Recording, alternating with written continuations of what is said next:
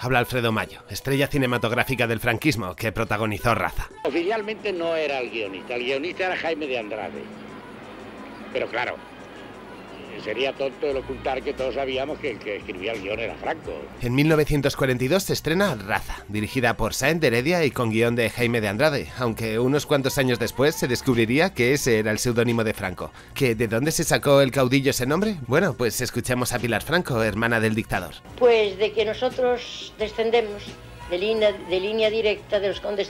El film es un proyecto muy personal de Franco, sacado de uno de los pocos libros que escribió, y cuyo objetivo era lanzar al gran público sus bases ideológicas. ¿Queréis conocerlas? Además, con su obra pasa algo curioso. A diferencia de otros dictadores que escribieron las bases de su pensamiento en forma de ensayo, Franco se hace eco de la fórmula de Pérez Galdós con sus episodios nacionales y realiza una novela. Eso le permitía una adaptación más fácil del mundo literario al cinematográfico porque al fin y al cabo el dictador dejó su ideología a través de una historia. Una que habla de la rivalidad entre dos hermanos y que aparte tiene un toque autobiográfico. Os cuento. La película arranca en 1898 durante la Guerra de Cuba. Lo primero nos presenta a la familia Andrade, que está compuesta por tres hermanos y una hermana que esperan la vuelta de su padre destinado en el frente. Cuando el militar llega nos encontramos con esta escena. Y la patria nos pidió al más valiente. La Virgen se lo llevó. Raza está cargada de ideología franquista donde destaca el sacrificio a la patria, el militarismo, el nacionalismo y el honor. Pero volviendo con el argumento, con la llegada del padre se descubre que los Andrade provienen de un linaje familiar y que el abuelo de los niños ya estuvo en la batalla de Trafalgar dando su vida por España. Al poco de volver este señor es llamado otra vez a filas y en esta segunda ocasión ya no volverá más. Pasan los años y los niños crecen. La mayor se casa y sus hermanos toman rumbos diferentes. Uno en la vida castrense haciéndose militar, el otro mantiene su vida como ciudadano y se mete en política. La relación entre ellos no es buena, pero más o menos se soportan porque son hermanos. Total, que estalla la guerra civil y los dos caen en el bando republicano. José el militar se disfraza de miliciano para cruzar a las líneas franquistas, pero es disparado por uno de los que serían sus compañeros y llevado a la enfermería de los republicanos. Allí se le cae una carta y se descubre que es un espía que quería cruzar la línea para desertar, por lo que es condenado a muerte. Su hermano el rojillo no impide la ejecución, pese a tener la oportunidad de hacerlo ya que durante la guerra ocupaba un cargo relevante. Finalmente José es fusilado con tan mala suerte, o bueno, con tan buena suerte para él que no lo rematan y malherido es salvado por una mujer. A la vez que sucede esto, el pequeño de los hermanos que se había metido a Fraile es víctima del saqueo y de la quema de un convento por parte de los republicanos para finalmente ser ejecutado en la orilla del mar. Una vez que José se recuperó de sus heridas, por cierto, atendido por un médico republicano que ayuda a fascistas para purgar su pasado progre, bueno, pues cuando el militar y protagonista de esta obra se siente mejor decide volver al frente, esta vez por fin en el lado en el que él cree, el franquista. Por eso viaja hasta Bilbao para llegar a primera línea de combate. Allí se encuentra con su primo, Luis. Este está con una crisis gigantesca porque echa de menos a su familia y ya no quiere hacer la guerra. Como contraparte a esa imagen del franquista débil aparece al poco, en otra escena, un hombre que quiere entrar a luchar justo porque echa de menos a su familia. Es importante como durante toda la peli encontraréis esa figura de contrapeso, el buen fascista y el que no es capaz de estar a la altura de las exigencias. Estas situaciones sirven para crear una especie de brújula moral con la que seguía al espectador. De corazón, la película apesta a pensamiento tradicionalista y militar, a sacrificio, a disciplina, a patria, a honor, a religión y a familia. Joder, si parece un canal de YouTube de hoy. Y bueno, y si así de primeras no estáis muy de acuerdo conmigo, podéis dejar la palabra sacrificio, disciplina, cambiar patria, pues yo que sé, por identidad nacional, por Europa, religión por valores cristianos y familia por estar en contra de todo este movimiento LGTB. Y bueno, ahora ya sí cuadra mucho mejor, ¿verdad? Y es que puede que Raza nos parezca muy casposa, pero con un poquito de maquillaje, la mona se ha vestido de seda. Pero volvamos con la película. Mirad, los principales personajes de la familia Churruca se relacionan con los principales arquetipos del franquismo. José Churruca representa la importancia de los militares para el Estado.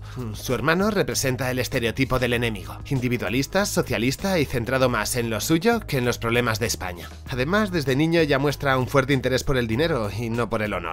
Y luego quedaría el tercer hermano, y yo que sé, que se metiese a cura no fue casualidad, ya que gracias a él se mostraba el sacrificio por Dios, la importancia de la iglesia y de los valores tradicionales. Y por último está Isabel, que cumple el rol de la buena mujer, la anclada en los valores conservadores, casarse y cuidar de su casa. Pero aparte de lo ideológico, que es obvio ya que estamos delante de una obra de propaganda, hay algo biográfico y personal en el guion de Raza que es digno de señalar. Franco aprovechó esa historia para hablar de su familia y de sí mismo.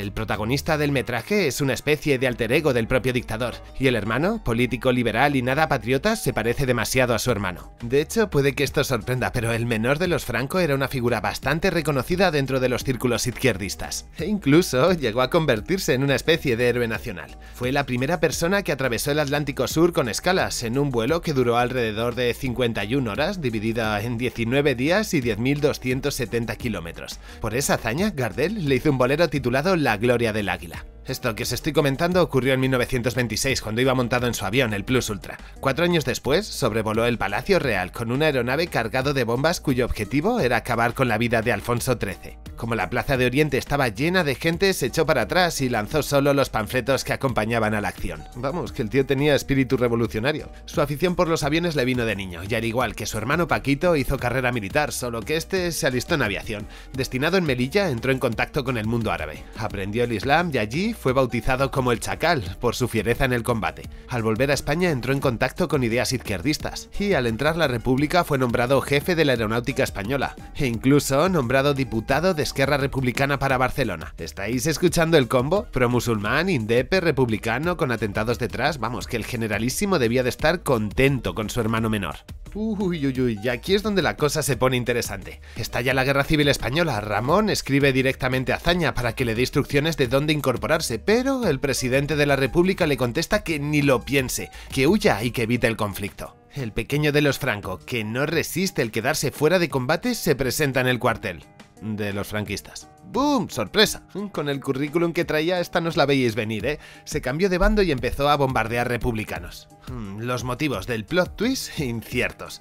Unos dicen que fue porque fusilaron a un piloto amigo suyo, que era de derechas. Otro porque su hermano acababa de ser nombrado generalísimo. Sea como fuere, dio su servicio a los rebeldes. Y esperad que la cosa aún se va a poner mejor. En 1938 cargó su avión con unos mil kilos de explosivos. El destino no se tenía claro. Si puntos estratégicos de Valencia o sobre los futuros exiliados que esperaban en el puerto de Barcelona para ir a Francia. O oh, eso dicen las malas lenguas. Nada confirmado. Para su desgracia no alcanzó su objetivo. Fue alcanzado por una tormenta que lo hundió en el Mediterráneo.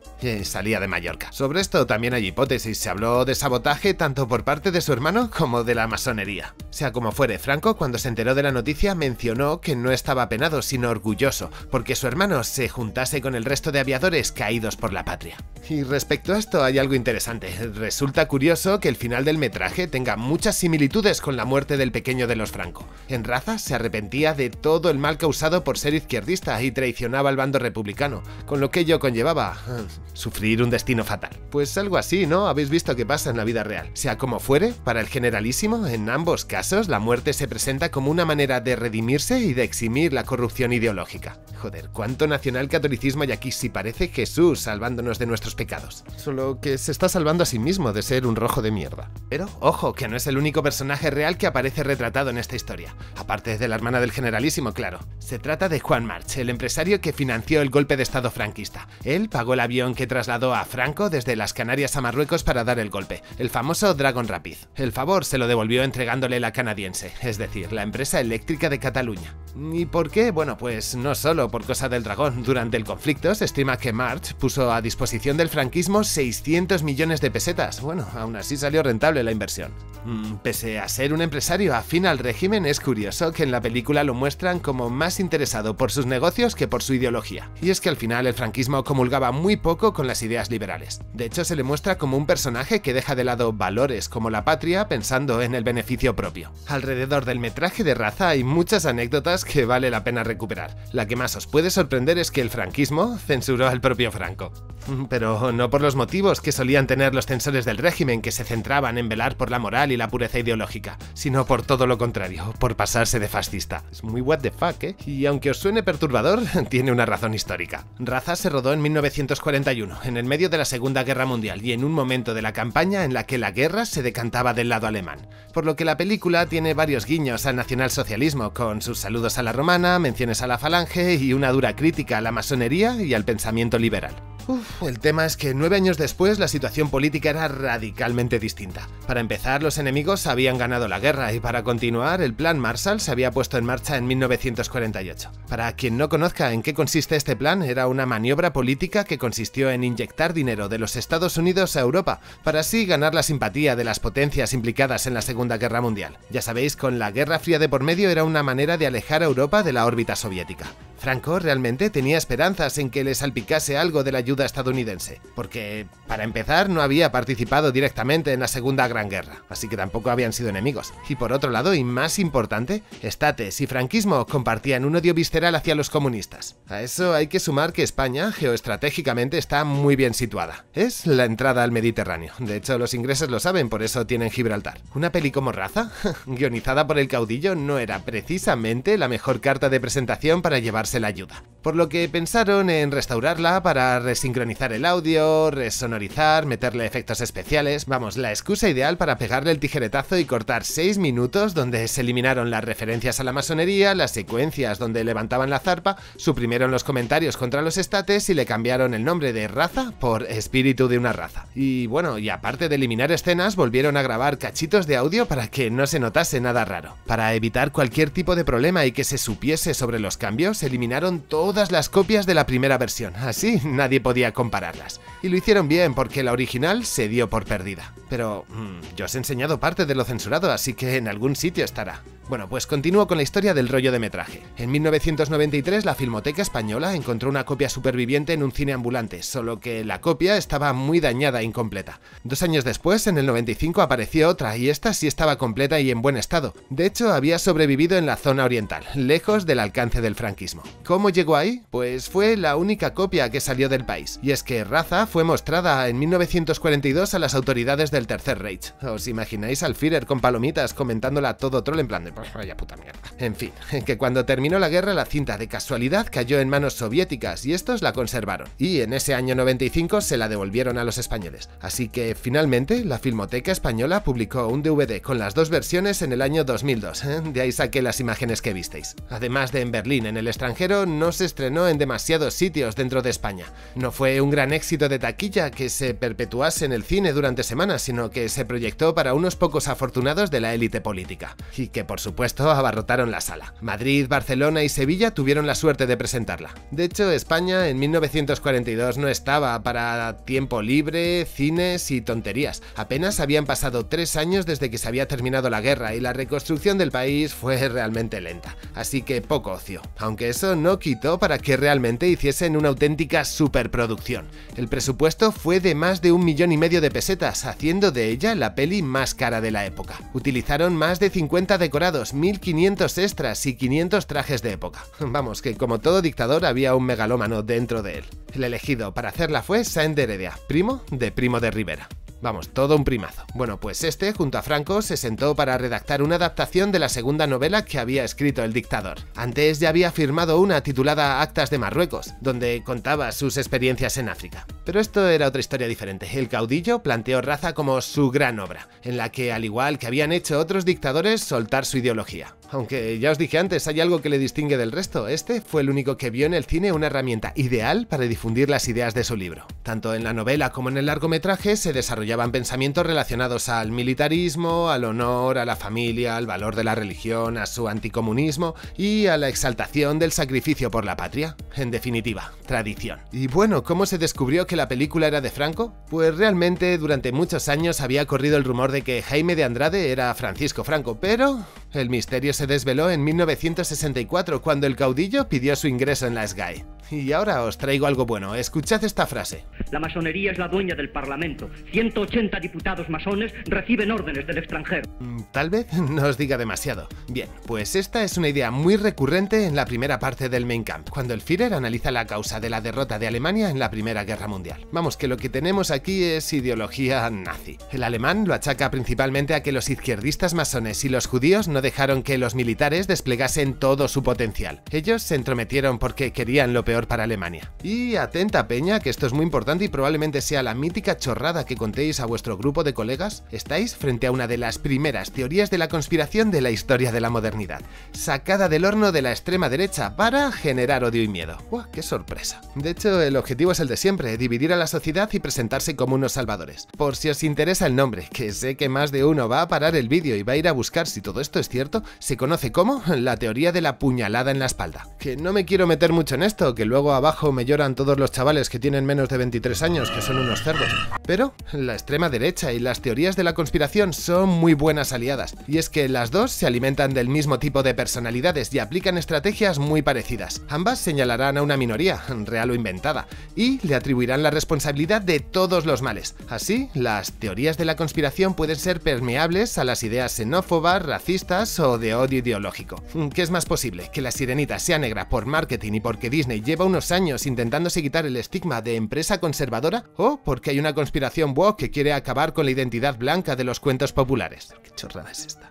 Creo no equivocarme si os digo que la principal fábrica de conspiraciones y de conspiranoicos lleva el sello de la alt-right y se difunde a través del meme. Bueno, ¿habéis escuchado hablar de Urabia? Bueno, pues esto vendría a ser que existe un plan judeo-masón para llevar los refugiados árabes a Europa y que dentro de 50 años los europeos sean una minoría y así poco a poco hacer desaparecer la identidad europea blanca. Joder, quedaros con ese pequeño detalle lingüístico. El concepto raza lleva demasiadas red flag entre los normies, otro concepto que también hay que apuntar. Pero el de la identidad entra sin vaselina. Mm, escucharéis muchos discursos hablando de esa pérdida de identidad occidental y bla bla bla. Bueno, pues haced el ejercicio de sustituirlo por raza. Si cuadra, estáis delante de un discurso de odio. Lo mismo con la incorporación del movimiento LGTB a la cultura mainstream. Es otro plan judío-masón progre para acabar con la fertilidad en Occidente. Aunque realmente va de defender unos valores conservadores de la familia cristiana. Y esto, por cierto, es complementario con lo anterior. Otro enemigo fantasma de esa extrema derecha es el comunismo. Mirad, características del comunismo son,